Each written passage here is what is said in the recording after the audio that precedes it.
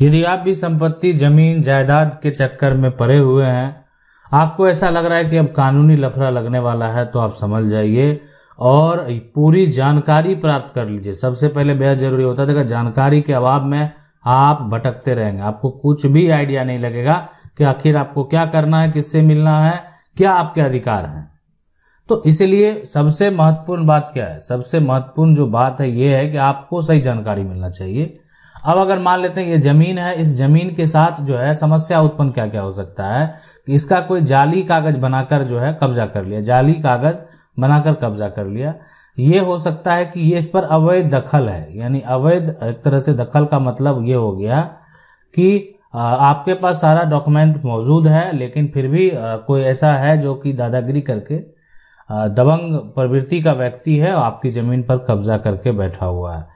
और इसके साथ ये जो है सकता है कि जो व्यक्ति ज़मीन एक तरह से उपयोग कर रहा है उस, उसका नाम दर्ज है। कहने का मतलब है वो जाली कागज़ कुछ बनवाया नहीं है। बाय डिफ़ॉल्ट उसका नाम दर्ज हो गया है।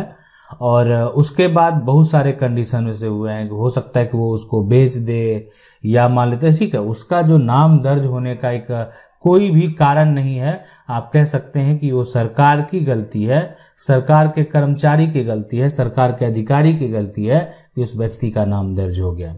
ठीक है अब चाहिए क्या? वर्तमान सिचुएशन में क्या चाहिए? वर्तमान सिचुएशन में उसका सुधार चाहिए। तो उसका सुधार कैसे होगा? तो ज़मीन पर मान लेते हैं, अगर किसी का कोई भी अगर अवैध कब्जा कर लिया है तो सबसे पहला एक अधिकार जो कानून में अधिकार प्राप्त है। ठीक है? कानून में ये अधिकार प्राप्त है कि कब्जाधारी का क्या राइट है। मतलब उसको जो कब्जा करने वाला तो कब्जा करने वाला था ना, उसको भी एक अधिकार दे दिया गया है। दूसरा कि ज़मीन मालिक का क्या अधिकार है? ठीक है, देखें, ज़मीन तो ये साफ़ ज़ाहिर होता है कि वो ज़मीन का मालिक है, लेकिन ये समझना बेहद ज़रूरी है कि क्या उनका अधिकार खत्म हो जाता है है ना? तो अब यहाँ पर बात करेंगे जो है उस कंडीशन की। जिस कंडीशन में जो आपका मामला है, या तो वो मामला जो है शॉर्ट टर्म से लॉन्ग टर्म जा सकता है है ना? वो दो तरह के मामले ऐसे हो सकते हैं। पहला ये जो कब्जा विवाद है ना कब्जा जो विवाद है आपका विवाद है वो परिवार के व्यक्ति के साथ है। परिवार का जो है एक तरह से वो व्यक्ति है। तो उस केस में आ, कहने का मतलब ये क्या होगा कि कब्जा विवाद करने होने करने वाला जो व्यक्ति है वो कोई और नहीं है। क्या है? परिवार का लोग है। तो यहाँ यानी यहाँ यानी उस केस में क्या होगा? आपका मामला थोड़ा पेचीदा हो सकता है कि अब आपकी लड़ाई कोई अन्य व्यक्ति के साथ नहीं है, परिवार के लोगों के साथ है, हिस्सेदार के साथ है तो वहाँ पर एक एक तथ्य को देखना और उसके बाद जो है उसका फैसला होता है तो उसमें थोड़ा विलंब हो जाता है। देखें, कोर्ट का फैसला है, वो भी सिविल मामला है, सिविल मामला में हर तथ्य को देखा जाएगा। तभी तो कोई जजमेंट दिया जाएगा, यानी दोनों पक्ष का सुना जाएगा। एक पक्ष क्या कर रहे हैं, दूसरा पक्ष क्या कर रहे हैं, दोनों को लगेगा नहीं। अभी इसमें जो एक तरह से तब एक फाइनल जजमेंट की ओर बढ़ा जाता है। ऐसे थोड़ी है कि एक दिन, पाँच दिन, दस दिन या एक महीना, दो महीना छः महीना में सारा सॉर्ट आउट हो। इसलिए कि आपको भी मौका दिया गया अपनी बातों को रखने का। सामने वाले को भी मौका दिया जा रहा है। ठीक है? आपको भी अपने गवाह पेश करने का समय दिया जा रहा है उसको भी अपने गवाह पेश करने का समय दिया जा रहा है तो इसलिए टाइम तो मिलना चाहिए, ठीक है? और मिलता भी है, लेकिन दूसरा यहाँ पर ये ठीक वाला व्यक्ति है, यानी इसमें क्या होगा कि कब्जा करने वाला जो है अन्य कोई व्यक्ति है, अन्य है है ना? अन्य है। तो वो मतलब अन्य कोई है जो कि आपके जीवन पर मतलब बाहरी कोई व्यक्ति है तो उस केस में कब्जा करने वाला यहाँ, जो है आपका कोई सगा संबंधी, रिश्तेदार ऐसा परिवार का सदस्य जो है, वो तो है नहीं जो कि आपके ज़मीन में हिस्सेदार है। अन्य है। अब अन्य व्यक्ति के पास क्या होता है, उससे लड़ना आसान हो जाता है। उसके पास कोई प्रूफ तो है नहीं। मामला कोर्ट में जाएगा, उसको पूछा जाएगा कि आप कागज़ दिखाओ। कहाँ है कागज़ तुम्हारा। ज़मीन तुम उपयोग कर रहे हो, किस आधार पे कर रहे हो? कोई कागज़ है तुम्हारे पास? ठोस सबूत है? नहीं है। आपके पास, उनके पास कोई भी ऐसा ठोस दलील नहीं है, जो कि वो कोर्ट में पेश कर सकता है।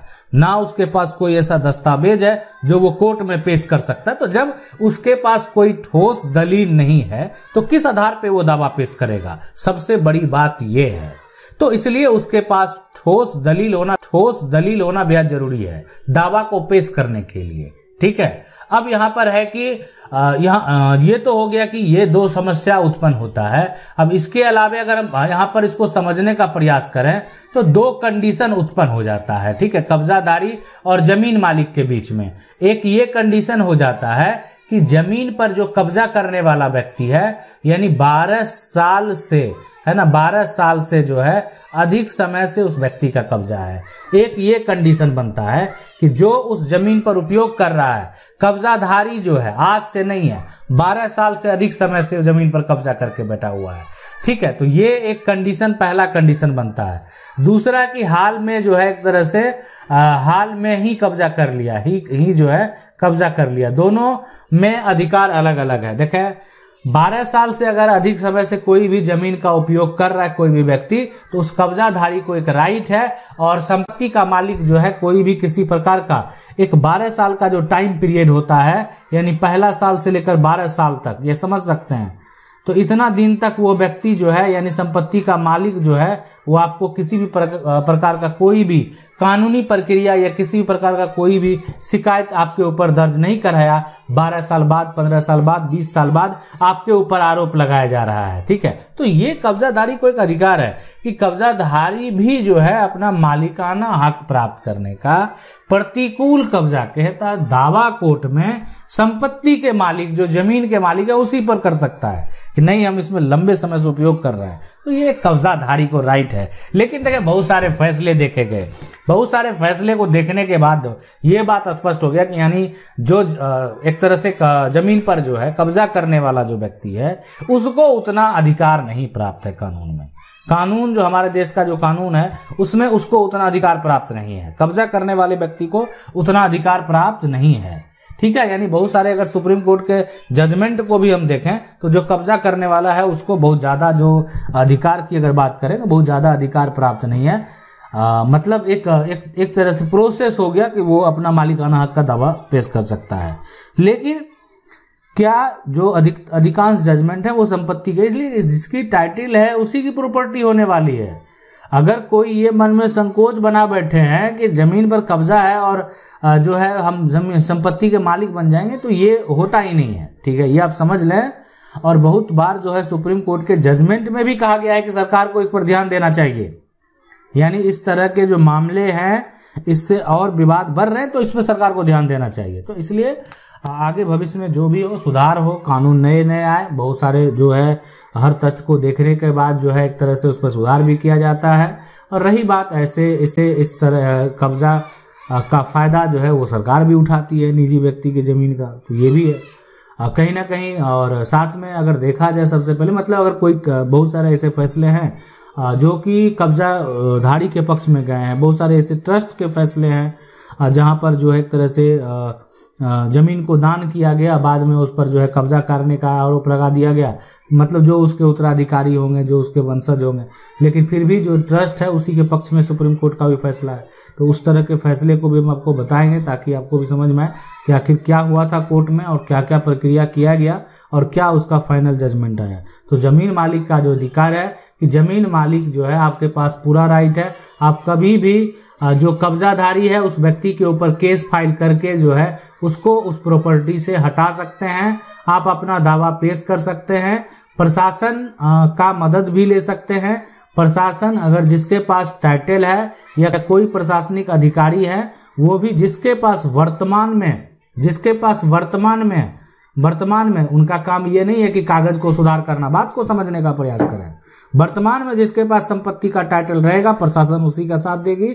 यानी आप कितना भी चिल्ला चिल्ला के कहेंगे कि ये मेरी ज़मीन है, हम भी मानते हैं कि आपकी ज़मीन है, लेकिन किसी कारणवश अगर कोई आपके ज़मीन का कागजात तैयार कर लिया है, या उसके नाम से हो गया है, या उसका फर्जी कागजात है, जो भी है अब वर्तमान में अगर जिसके नाम से संपत्ति का टाइटल रहेगा, संपत्ति का मालिक वही कहलाएगा। यानी कोई अगर आके ये दावा पेश कर देगा कि हम जो है संपत्ति के मालिक हैं और उसके पास कोई प्रूफ नहीं है तो प्रशासन भी उसका साथ ठीक है, आप मालिक होंगे, लेकिन आपको अब ये साबित करना पड़ेगा, आपको उसके लिए कोर्ट जाना पड़ेगा, यानी आपको खुद अपने कागजात का पहले सुधार करना होगा, तभी आप दावा पेश कर सकते हैं, और कानूनी तरीके से दावा पेश करने के बाद कानूनी तरीके से आप अपनी संपत्ति को वापस, से आप अपनी संपत्ति को वापस पा सकते हैं।